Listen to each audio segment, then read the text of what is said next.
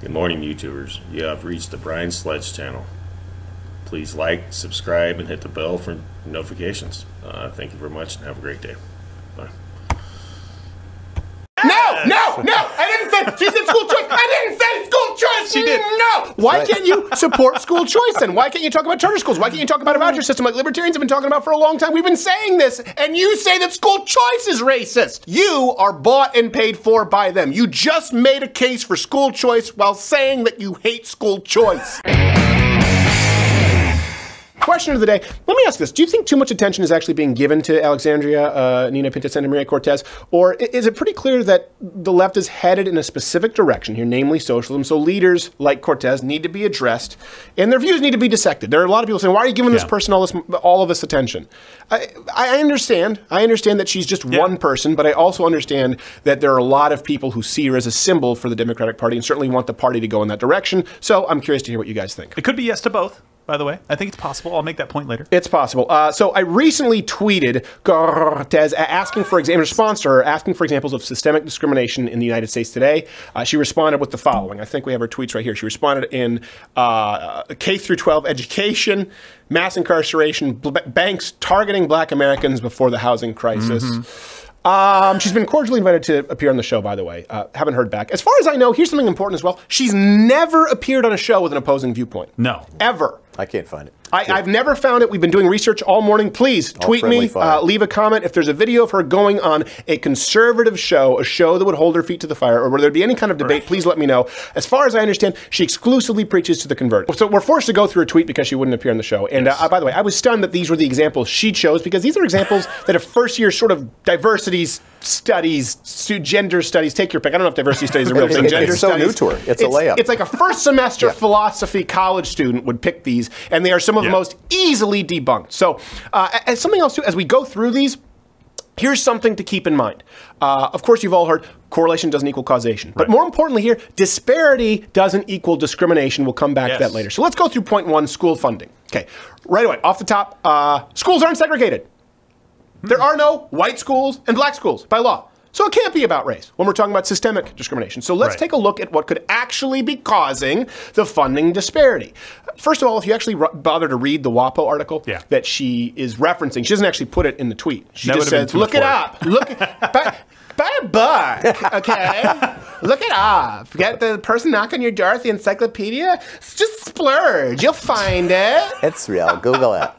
So you find the disparity, by the way, in the original WAPO article. It has nothing to do with race, um, and it has nothing to do with the system. It's, it's really based on how money is raised from property taxes. Yeah, and they did that because they wanted more local control. Surprisingly, Yes. they wanted to make sure if they sold a bond that they, that you had a really high bar to clear, so that the local resident said yes to that bond. Right. Something that she would probably champion. By the way, the system in question, that specific article, uh, the state budget actually gave more to non-white schools. Oh. Just to keep in mind. well, that's awkward. But she does have she does make a point here, and I, this is where I agree with Cortez. Mm-hmm. Um, it doesn't make a whole lot of sense that people should be forced to attend a specific school just because they live in a crappy district. She even mentioned this, by the way, on an interview where she talked about needing to change the way when she wasn't trying to uh, obfuscate with it's racism. When she was talking about in an interview the way school funding needs to change, here's what she said. one of the things that we really need to reassess when we talk about economic inequality and reducing economic inequality is our basic system of funding schools. The basic idea that the immediate property taxes of a certain zip code funds that local public schools. Because then what it does, it creates this mad dash. Um, I think by kind of re-examining how, how we even Are there goldfish in her shoes? is one of the basic things that we take for granted, but it could actually be one of the strongest keys in unlocking um, the opportunities of children in the United States. What? School choice? Yes! No, no, no. I didn't say. She said school choice. I didn't say school choice. She did. No, never. You just made an argument for school. Why right. can't you support school choice then? Why can't you talk about charter schools? Why can't you talk about a voucher system like libertarians have been talking about for a long time? We've been saying this, and you say that school choice is racist. Why? Because you have to appease the big unions who give far mm-hmm. more than Big Oil or the Koch brothers or mm. Rupert Murdoch. Big unions, particularly if you look at public sector unions and public education unions, you are bought and paid for by them. You just made a case for school choice while saying that you hate school choice. Exactly. even if you agree with the premise here when you talk about school Yeah. funding, you have you have to follow the logic trail, or you have to follow their logic trail that more money would equal better success in school. That's not true. Higher per spending pupil does not equate to greater success. There is No. that's a great example where there isn't even a correlation. You couldn't say that correlation equals causation, but there are schools that have more funding, like in Detroit, than the national average Yeah. that do horribly, and then there are schools DC. that have far less funding that do much better. For example, there's some schools in certain districts of New York where they couldn't understand. They're going, hold on a second, they have bigger classroom sizes. Uh, they don't have the same amount of spending per pupil, and they were doing far better because of better teachers and incentives. I mean, there's a, there are a multitude of She probably should have just stayed away from this. Public public education has been a train wreck for a very, very, very long time, and this distracts from a real issue. Like she, it's like she just tried to pick out like three basic things and say, "Well, that'll work." Yeah. right. There's an article that I can there's a disparity in education. So and it's all about money, checkmate. even though we've proven that it's not I about think she money. thought this tweet this tweet speaks for itself, and I think the conversation needs no further discussion. But that's the kind of responses you would get. By The the, next way. point, by the way, mass. She just points to mass incarceration, uh, which doesn't really give us a whole lot to No go context. on.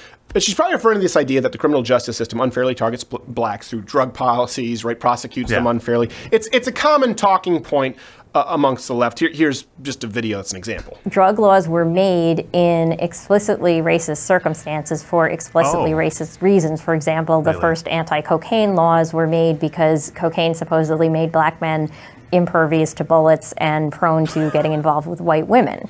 First off, uh, that's not true. Second, I think she's trying to imply here that people on crack or people on meth aren't more likely to commit violent crimes. There are some Japanese kamikaze pilots who'd like to speak with you.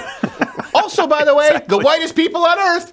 The Aryans, the Nazis, they were methed out of their minds. These true. it is absolutely true that people who do hardcore drugs, particularly Yes. stimulants like crack cocaine and methamphetamine, commit more crimes. I don't know why they're like, it's, it's racism. No, no, they crash planes into Pearl Harbor when they do those drugs. That's why. To go to the, the argument at large, because she just said incarceration. Yes, Yeah. black people make up a disproportionate percentage of the prison population. But they also commit a disproportionate percentage of the crimes. They commit murder, for example, at more than double the rate of white Americans. Okay? Yeah. And again, if you look more closely, you can find reasons for the disparity uh, in the drug crimes specifically that they mention uh, that don't equal discrimination. Yes, okay, here's a good example 81% of crack cocaine defendants are black, but only 2% of meth defendants are black. Yeah. With 54% of them being white. That means that not meth that. laws target whites 27 times more than blacks. Wow. See? We can play that game too. Meth targets targets whites. I bet if you were to include people who have sex with their sister, it's probably 84 times more than blacks. By the way, according to the stats, heroin is the wonder drug that bridges the racial divide. That's just good shit. Everyone loves heroin. I don't care you white, you yellow, heroin is just plain good You've got that right. I'm glad it brought us. Together. We'll be in trouble. So but let me ask you this: Are meth laws are they anti-white? Any more than crack laws or anti-black? Different demographics commit different types of crime. That's why there's a disparity. There is a through line uh, through all these disparities. For example, not doing well in school or ending up uh, in prison. Uh, see if you can guess. Before that, though, hit the notification bell uh, since subscriptions don't mean anything anymore. And uh, Jew actually uh, do. Uh, I said Jew. You said Jew. Jew. You Uh, racist. Omar on the brain. The Jew. The Jew. They mind trick you into hitting notification bell. Uh, hit the, The Russian notification bell. Jews, Do bookmark the page because they might do Eastern notifications. Bloc, anyway. Subscribe on iTunes. All right, let's continue like this is going well. So the point, the third point she makes is that banks are targeting minorities, right? That Yeah. banks, she, Cortez claims that targeted black Americans. I wouldn't use the word targeting. But okay, let's go with your premise. There's, there is validity, Miss Cortez, to your claim. Uh, why? Because of your party. Here's housing agents who say, well, there are no vacancies right now.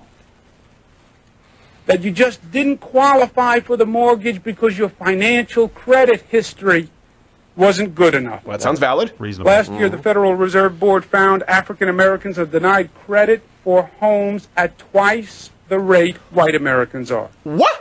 Twice the rate? That's almost two times more.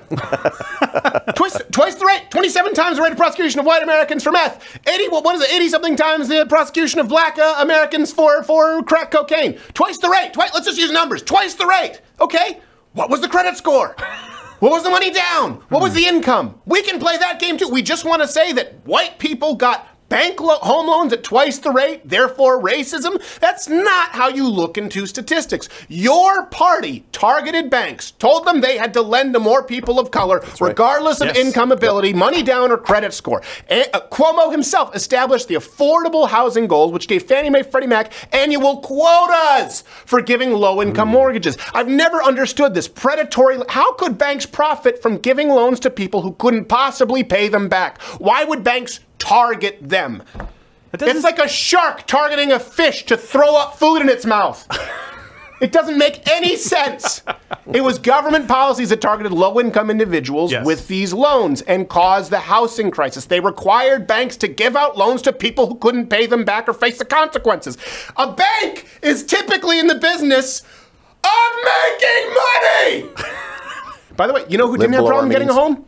The black doctor. Just so you know, just, that's one thing that they always show in movies that's completely inaccurate. Do you think? Do you think Ben Carson would walk into a bank and the response be, "Well, everything here checks out, but we don't take kindly to your coloreds around here." But it's it's money in the bank. I mean, basically paying eighty percent down. We don't care. We'd rather lose money on a good white filler. That's what happens in these movies. He a black guy walks in for a bank, a bank loan. He walks in, he's got a wife and kids, he's got a job, he's got a perfect credit score, he's got all the money down, and they're like, well, I would give it to you if you weren't a Negro. That's how. That's not how it No. works in the real world. No, especially with what Are she's there some racists, about. by the way? Of course there Yes. are. But to try and act like the housing crisis was caused by banks targeting black people to make sure that they take the money they could never pay back, it just shows a, a lack of any threat Well, of runs- logic. Listen, I'm not saying that there aren't examples of individual racism, of course, but I Yeah. asked for examples of discrimination. What she gave me and you by proxy. Here's something else too. People say, why do you focus on her so much? She's an elected official. Yeah. She is paid by our tax dollars. It is. It's not punching up, looking to, to gain ratings. Her job is to respond to her constituency. Mm-hmm. That's her job. It is entirely appropriate to respectfully ask for her to answer these questions. She gave examples of discrimination uh, that were actually just disparity. That's all it was. And by the way, um, that doesn't mean there aren't any problems with what she's outlined there. There certainly are examples Yeah. of discrimination. This is, though, what she's done is it's a symptom of a syndrome, okay? That there is a problem that only government can fix to right the racial injustices of the past. There's a common denominator, by the way, that I talked about. I said I would come back to it, that could lead to this disparity among any race, white, black, yellow. What could, let me ask this, what could possibly be the po- uh, common denominator, okay? That could lead to a disparity in success in school. That would also possibly lead to a disparity in incarceration rates or saving up enough money to get a home. Let me, let me answer that with an anecdote, anecdote first, followed by some data, okay? I was at a baby shower this weekend. Uh, my wife is out of town, so I had to attend, and I brought Betty, our puppy. Sorry, buddy. Uh, so it was all the for the parents and their kids, and Betty's a puppy, and so we're trying to socialize her with as many dogs and as many kids as possible. Yeah. She's out there running around playing. There was this boy who was screaming, by the way. Anytime he wanted attention, just ah, ah, scream, shoving other kids in the bouncy hop. He walked up and punched Betty in the ribs Ooh. as hard as he could, just right where the spine meets the ribs, just sounded just like that. Ow. And then he walked up and he yanked on her tail. And he looked me, Johnny Boy was there, looked me in the eyes and started stepping on her tail after I told him to stop. Now, Oh, he gonna die. I say this because um, if it were Hopper, he probably would, probably would have bitten the kid because Yeah. he's older. He doesn't play that, right? And that's another, another problem I have. People are like, oh, dog. No, if you punch a dog in the ribs, you're kind of asking for it. But uh, it- the racist would look at that and say, oh, black kid. But you know what I saw? I saw a kid at that baby shower with the only mother without a wedding ring or a father.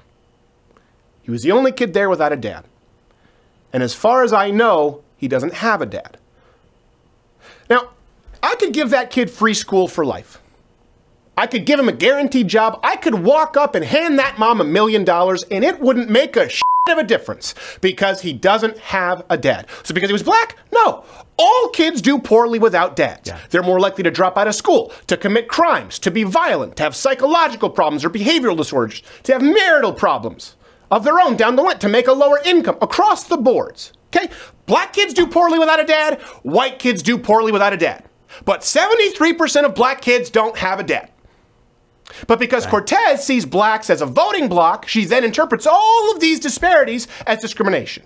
But there really is at least one easily explainable reason for this, or at least one correlation that makes sense across the board. Kids who don't have dads do poorly in life. Now, the left has been accusing the right of using this as a cop out for all these disparities, which clearly are examples of systemic discrimination. And uh, only, only, only if you really looked at the systemic problems of racial injustice, uh, only, you know what? Here's the truth. If you look at them, you examine them just like they don't exist. The largest part of this solution is right in front of your faces, their faces, our faces, but the left couldn't possibly acknowledge it because that would be dabbling in the realm of moral absolutism or maybe passing judgment. And we couldn't have the leaders of the DNC doing that. We couldn't have them saying, you know what, ha, let me use my sound judgment here. It seems that there is a strong correlation here, and I do believe there could be some causation, that kids without dads don't do well. If we're going to try and socially engineer people, why don't we look at something that is undeniable? And encourage men to be better husbands, fathers, dads in the household. You do that, you'd fix a lot. You certainly would fix a lot of problems. Not all of them, but everybody would have a better head start, at least. But we're not supposed to talk about it. The DNC could never do that. Cortez, the intellectual heavyweight for them. Okay, if you like this video, you know, you watch videos on YouTube. If I were Jimmy Kimmel, if I were Stephen Colbert, or Trevor Noah, I would tell you to subscribe. But I have no corporate overlords who demand that I do this demeaning promo. I do the demeaning promo because I choose to. Subscribe or hit the notification bell because I need you. I need you. Please do it.